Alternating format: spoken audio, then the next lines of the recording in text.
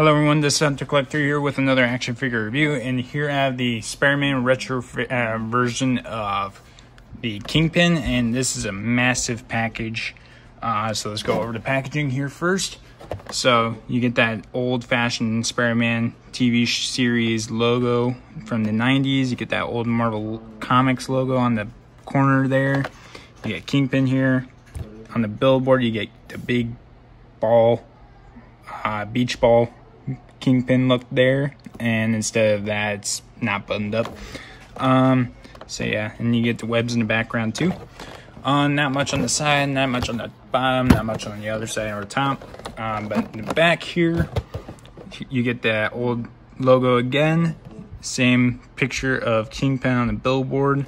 Marvel's Kingpin. If you guys want to pause and read that, you can. And then here's all the figures in the wave. You get Spider-Man, Peter Parker, Green Goblin, Gwen Stacy, Daredevil, and Electro. And then here's the DCPI. Well, now it's covered up, actually. Uh, I got this from GameStop, too. Uh, but besides that, let's crack them open. And here's Kingpin out of the packaging here. So he has two accessories here. So you have a calm Kingpin or a little pissed off look of him. It, he kind of looks calm or serious here. So I like this head sculpt. We've seen it before. Um, both head sculpts we've actually seen before. You get the blue eyes, you get the brows, bald head, you get some wrinkles in the forehead here, frown, and yeah. And you get no chin there, so that's cool. They nailed that one. Um, and yeah, not much else for the head. And then you get his little walking stick. Uh, you get that brown looking wood there. You get a little bit of white scuff in there. Uh, and then you get this little diamond there, gold ring around it. So yeah, there's that. It's pretty cool. We've seen it before. I think it might be a different color on mine. I have it already built and stuff like that, so we'll, do a comparison here in a bit. Uh, and then here's Kingpin here. So this is the same head sculpt uh, that we've gotten with the Build-A-Figure, except for it's repainted. So you get a cut across the eyebrow here. You get a black eye. You get more cuts around there. Lip. You get white those nice pearly white teeth. You get a little bit of tongue in the back there. You got another scratch here. He's screaming. You get veins popping out of his face here. Forehead too. I like it a lot. I like that head sculpt for this one.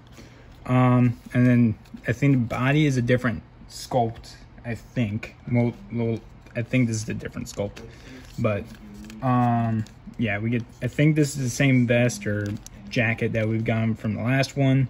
So this this part right here is repainted though. So you get the blue undershirt, whatever you want to call it, and you get that little button if it'll focus. I don't know if it'll focus. But it looks like it has a little bit of green in the middle of it. I don't know why my phone's not focusing on it. There we go. You get a little bit of green in the middle and gold around it, so that's pretty cool. Uh, he has a orange little vest for him. You get the blue shirt, like I've said. You got purple pants, like Hulk. And then I think the one thing that they kind of messed up on here, uh, they didn't change the paint on the shirt here to change the blue. But it's not going to bother me a whole bunch. I just noticed that. They should have switched it to blue instead of black here. So yeah, they, they messed up on that part. But like I've said, it's not to bother me a whole bunch. You get the buttons here. So that's cool. Get more of those black buttons there. On his vest. You got a red um, handkerchief in there. You get his shoes. Getting wrinkled up. Some nice looking sculpt there for stitching. I like it a lot. But besides that, that's all we got for the looks. So let's go over his articulation here. So his head can only move down that far because of that no chin thing. Uh, you can look up that far. You give him the logo left and right. Uh, no head, uh, just a little bit, a little head pivoting. Uh, his shoulders can move out. If it'll focus, there we go. That far. 360 rotation around the shoulder. Single joints and elbows. 360 rotation around those.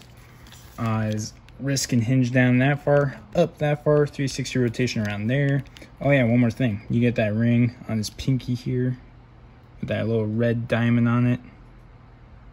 So that's cool with the gold around it for his actual ring.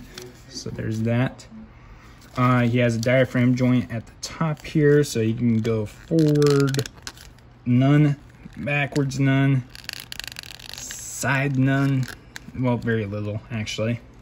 Um, and then he has a waist swivel. Nope, no, no waist swivel. So his legs can kick out that far, forward, that far, backwards. Actually, a decent amount. You got a thigh cut here, single jointed knees, so you don't bend that much but you get 360 rotation around those. There you go, 360 rotation there. His ankles cannot really hinge, so down that far, up that far, some ankle pivot there because the pants kind of get in the way there. And here's the Build-A-Figure Kingpin next to the Retro Series Kingpin. Uh, the difference I see here is this one has like a collared shirt with a tie there. This one doesn't.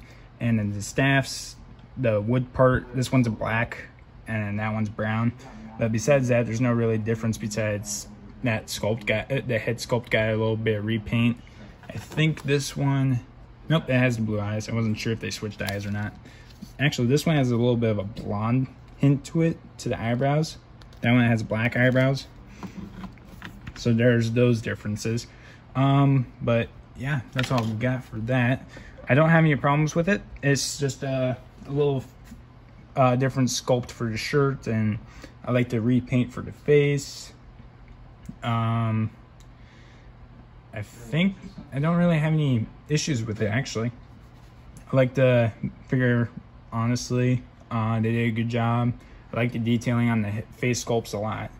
Um, but besides that, that's all I've got.